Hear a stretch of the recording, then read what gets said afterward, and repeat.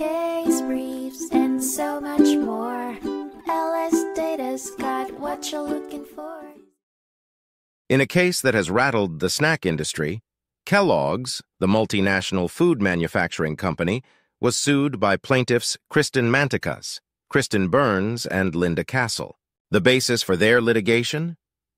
The trio asserted that Kellogg's engaged in deceptive advertising by falsely labeling their Cheez-It crackers as whole grain or made with whole grain in violation of consumer protection laws in New York and California. Their bone of contention was not purely semantic. The plaintiffs argued that the use of the term whole grain manipulated consumers into believing that the grain in Cheez-Its was predominantly whole grain.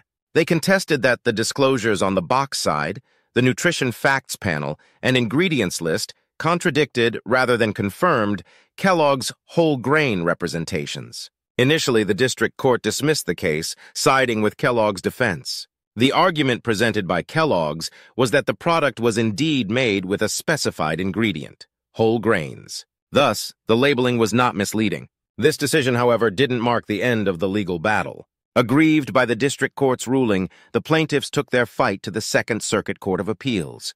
The court opinions swiveled in their favor. The appellate court found that the district court had erred in its judgment. They, too, saw potential for consumer deception in the whole grain labels. Furthermore, they rejected Kellogg's argument, stating that even an ingredient's presence could construct a false impression if not adequately represented. In a turning tide, the Second Circuit Court overturned the original ruling, suggesting that the plaintiff's allegations of deceptive packaging were not implausible. Evidently, they agreed a reasonable consumer could indeed be misled by the whole grain labels. This landmark case has now been sent back to the lower court for subsequent proceedings. The saga of the Cheez-Its continues, where the crumbs of truth and judicial interpretation must now settle. Case briefs, and so much more.